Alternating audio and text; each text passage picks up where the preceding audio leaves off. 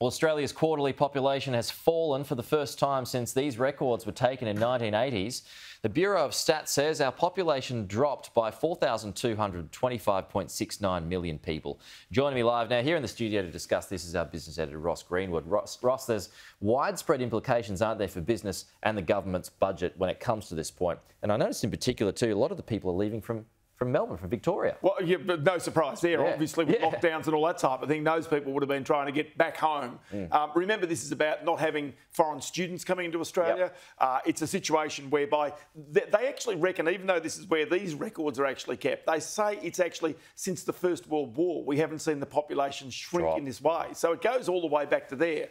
Now, what you can imagine is that once we get our borders open, this is a reason why the whole issue about what Alan Joyce is saying, the boss of Qantas, that he wants international borders open by the end of October. The government even is saying similar things right now. Uh, and the idea is that they want to get this population growth going pretty quickly. And remember that Australia is going to be a, a, really desirable destination for people living overseas, given our track record on coronavirus, given the ravages of coronavirus in the United States in Europe, across many parts of Asia, you're going to see that a lot of people are going to, going to want to come to Australia and New Zealand.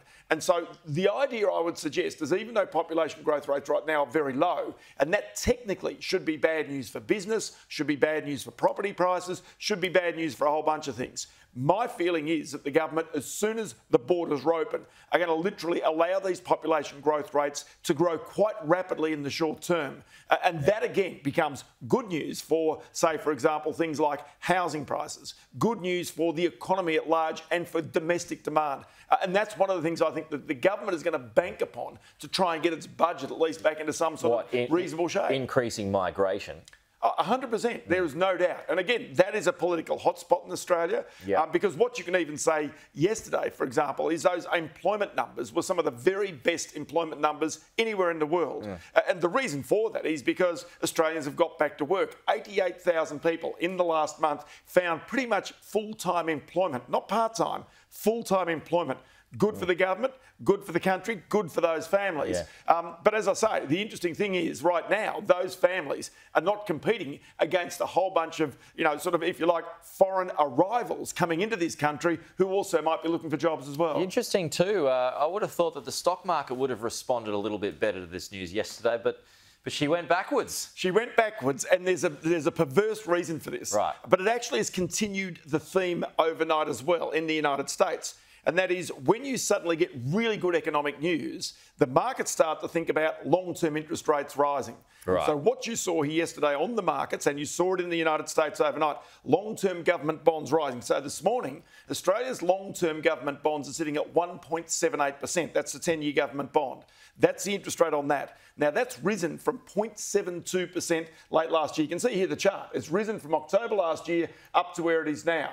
Now, normally that would frighten investors, and it has given them a, at, least, at least a little pause for concern. You compare that with the two year government bond rate at the moment, it's 0.1%. Mm. So basically, it's 17.8 times more than what the two year rate is.